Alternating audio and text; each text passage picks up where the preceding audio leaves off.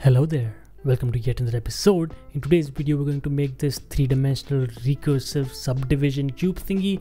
I don't know what else to call it, but yeah. Before we get started, I really want to thank to all my patrons who've been supporting this channel for last couple months. Also, I want to especially thank all the people who've been buying my latest product. If you are in need of high quality assets like these, make sure to check out the link in the description. Also, I'm adding like 30 more assets to it this week, so watch out for that. Now, without wasting any more time, let's get into it. So I'm pretty sure this is a hacky way of doing it because uh, essentially this is a for loop effect. I released this effect on my Patreon like a month ago, but I was waiting for for loops, but seems like they aren't coming anytime soon. So I thought let's just get it over with. So here's a cube in my scene. Let's add a new geometry node. So the basic principle of this effect is going to be me separating the eight vertices of this cube, all the points, and using those eight vertices separately with a single vertex in the center of the cube to generate a smaller cube. If that doesn't make sense to you, uh, as soon as I start working, it will. Okay, so the first thing I'm going to do is separate a single vertex from this cube. For that, I'm going to use a separate geometry node and set it to point. Selection shall be a index node which we will then compare. And it must be an integer and equal to 0 and that's our first vertex. If we go to 1 that's our second vertex. If we go to 2 that's our third vertex right there and so on up till 7 let me just go to the spreadsheet you'll see I have right over here one selection whereas over here we have eight vertex and here we have one vertex. Okay so the next thing that i'm going to do is add a points node. And this points node will generate a single point at the center of our scene which is vector 0 0 0 and we need the point to be at the center of this cube which coincidentally in this case is 0 0 0 because the default cube is generated at the position 0 0 0 but the next cubes that we will make uh, the smaller ones won't be uh, at 0 0 0 so we will have to compensate for that and we can start right now. For that what i'm going to do is take my initial geometry and add a bounding box node. To find the center of a cube if you might have guessed is to average these values. So i'm going to add them and then scale them by 0.5 now this will give us the center of the original cube. And we can check that by taking this point and applying this position into the point and it stays the same which means we have uh, correctly calculated the center of the cube. Let's just put this in a node group press ctrl g and let's call it midpoint.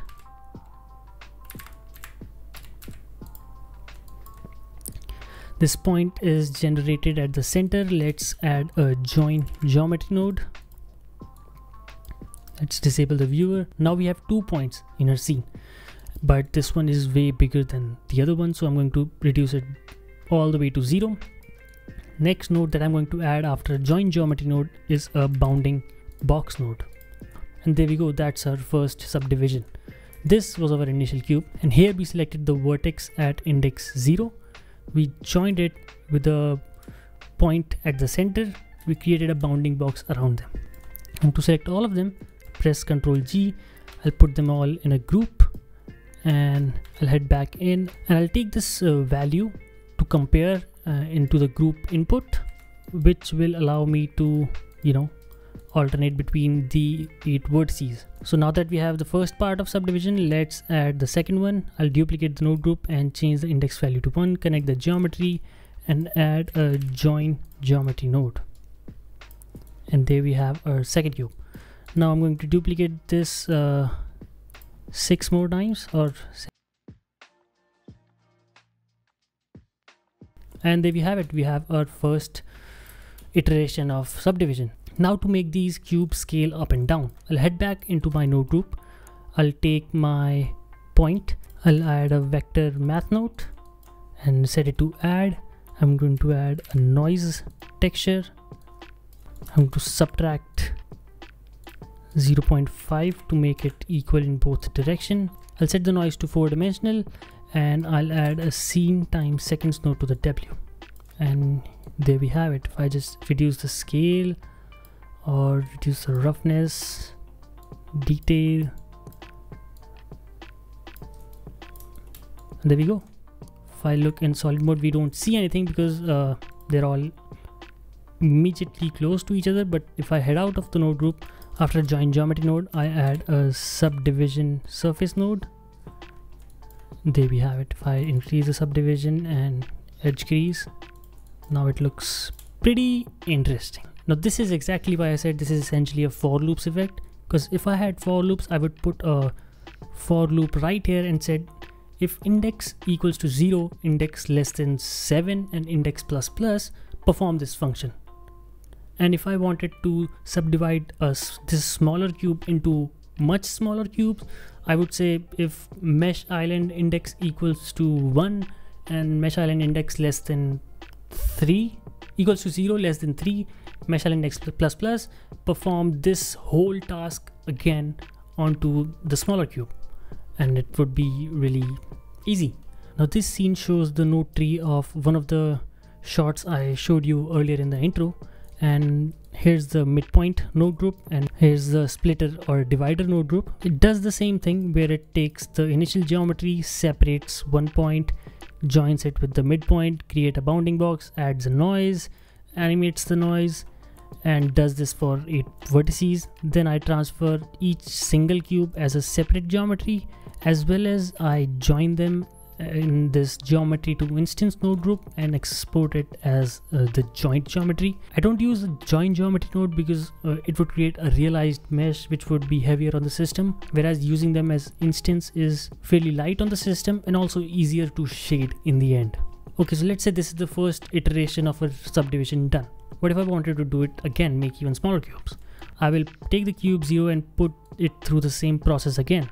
The divider node group which takes the midpoint puts it back into the splitter and takes the geometry to instance node inside it here and connects it to the output. Now all these output instances which is why this uh, runs really smoothly on a low-end machine like mine as well. And in the end I add a subdivision surface with the little bit of edge crease to make it look separate. I could also scale them down on their local axis uh, then I set shade smooth. And this node group is where I store some uh, random attributes for uh, on the instance as an integer. Uh, didn't need to but sure. And then I set the material. Well this is the chocolate effect I'm guessing. Yep. I didn't need random in this one but yeah. Hey if you want this project file which goes from 0 to 3 iterations uh, after this the node tree gets huge but if you want it it the link is in the description so you can check it out. So that's it for this episode guys. As i said you can find the link to the project files in the description. You can support me on patreon. You could check out my projects on gumroad. You could also check out my latest asset pack on blender market. Thanks for watching. Until next time goodbye